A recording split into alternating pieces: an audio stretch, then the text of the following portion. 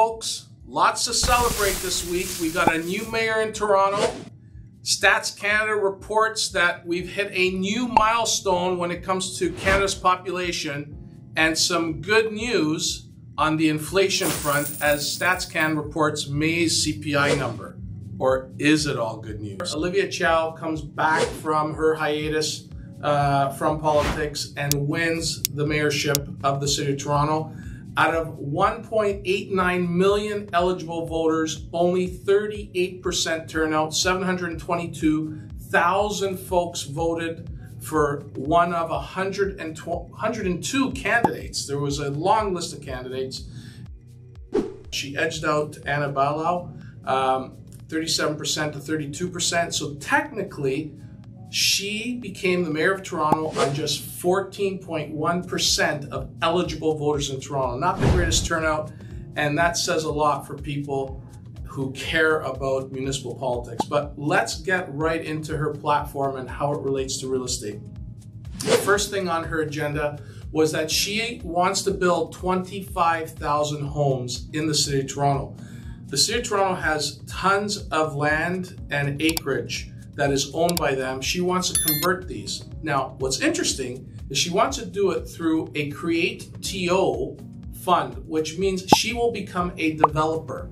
And what she wants to do is she wants to create 25,000 homes, of which 70% will be at market rates, rentals, 20% will be at affordable units, which means 80% of market rents, and only 10% will be geared to income units, which means they will be, uh, the rental rate will be priced at 30% of household income.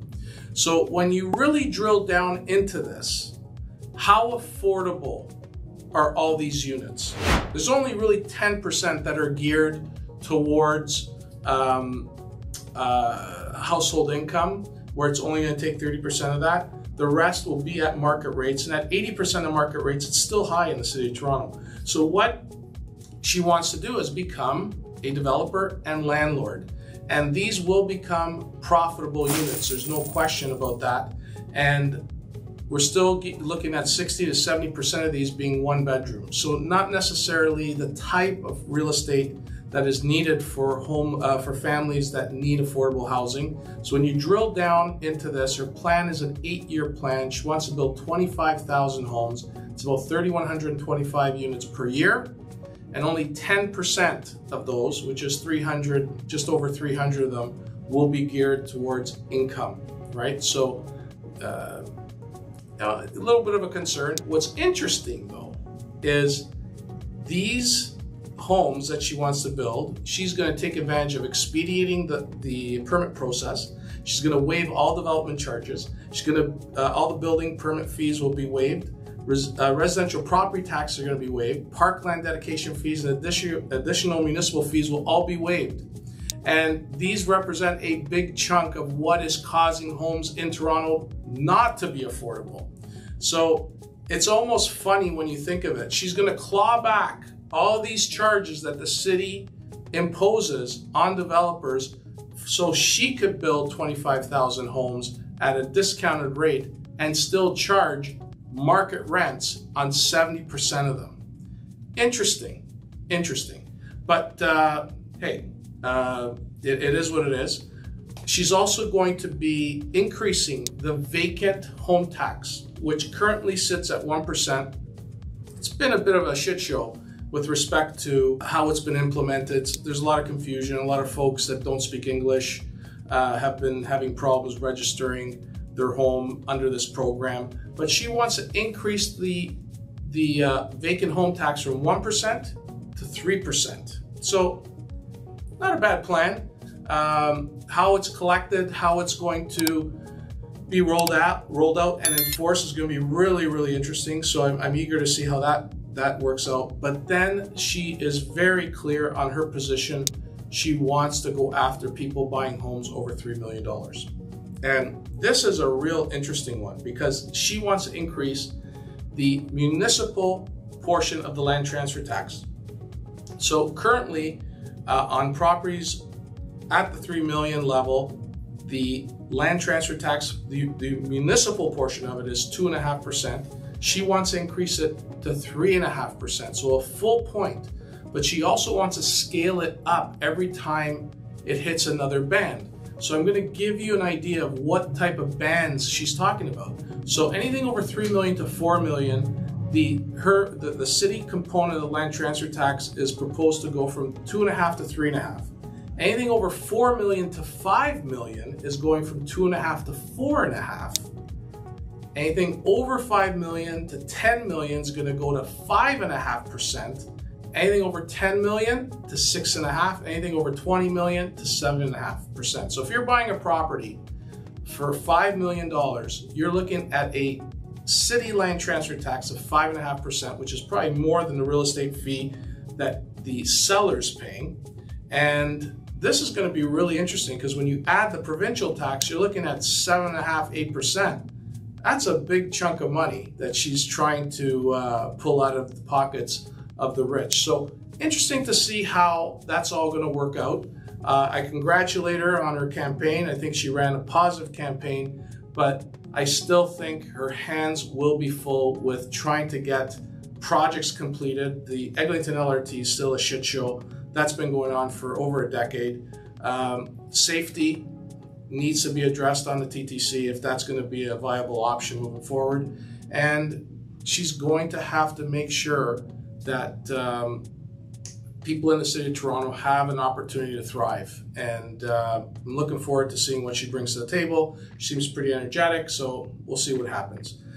Second thing I want to talk about is our population growth. We hit a huge milestone just in time for the Canada Day celebrations.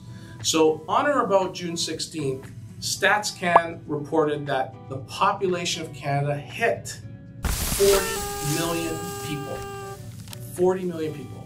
And just to give people an idea of how much we've grown in the last little while, in the first quarter of 2023, we brought in 292,232 people, a growth of 0.7% in a quarter from January 1st.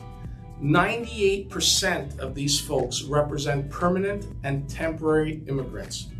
145,000 and change were immigrants. Another two, uh, 155,300 were non-permanent residents. Okay, so this is all in a single quarter. My question is, where the hell are they going to live? This is unbelievable growth. And this is what's driving GDP, which is giving Tiff Macklem fits.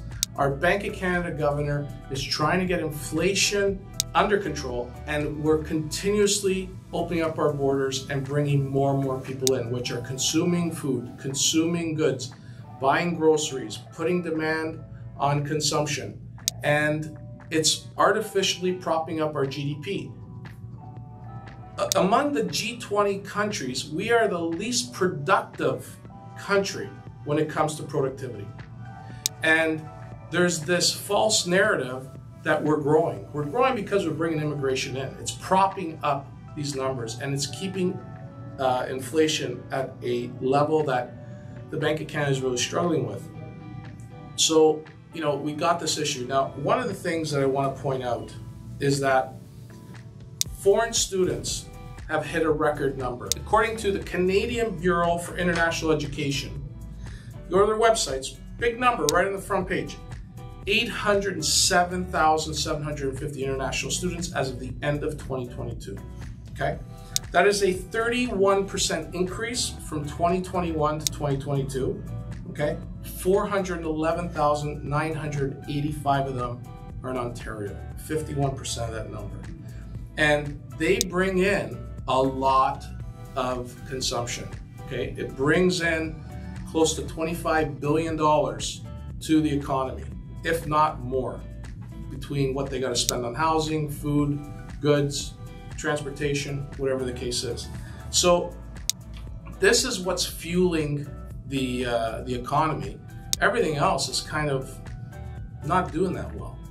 So we have to come to the understanding that if immigration stops, that's when you're going to start seeing things break to the degree they need to. But up until that point, it's going to be really interesting to see how the Bank of Canada navigates uh, inflation as well as this GDP number, which continues to grow. Uh, now, as far as inflation is concerned, uh, Stats Canada came out with um, the May figure. Uh, all the pundits predicted it would come in at 3.4. It actually did come in at 3.4. And uh, having drilled through the numbers, there is some concern that this could be temporary. As much as it's moving down, I think it's something to celebrate. But for the most part, there's some some concerns in there. Number one, the mortgage costs, the borrowing costs, have now crept up to 29.9 percent. That type that increase is almost 30 percent uh, from a year ago, and it is significant. It's starting to put a damper on consumption. Household budgets are starting to scrape through all their savings, and they're starting to feel the hurt. We're seeing delinquencies uh, pop up on the credit card side, as well as the installment loan side, car loans, stuff like that. Residential real estate defaults are still relatively low. Okay, haven't seen much movement, but we're seeing forced sales. People coming to the brink and realizing that um, things are getting dire. And we do anticipate that the Bank of Canada will continue to, to rise rates. And the next meeting is July 12th. I anticipate that we will see a quarter point hike and it will give um, another hit to, to consumers carrying variable floating uh, debt because it's another punch in the gut. It's going to end up taking a bigger chunk out of their discretionary spending and people will just start spending less. Now, if we go to the used Porsche tracker, we're seeing a jump in that.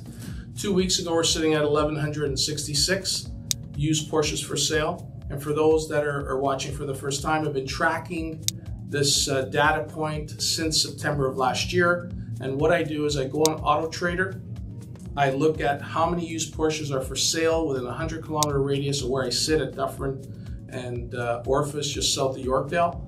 And when we started this back in September, there was about 944 used Porsches for sale. It's now jumped up to 1,194 a couple weeks ago sitting at 1166. So that tells me people are starting to get rid of the toys.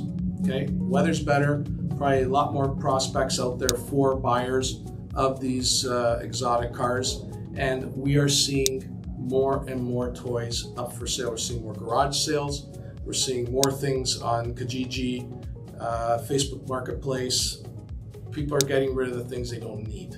And that tells me that things are starting to break. But inflation continues to run rampant. Uh, the drop in inflation uh, in May had a lot to do with the gas prices. Uh, that represented a big chunk of the drop.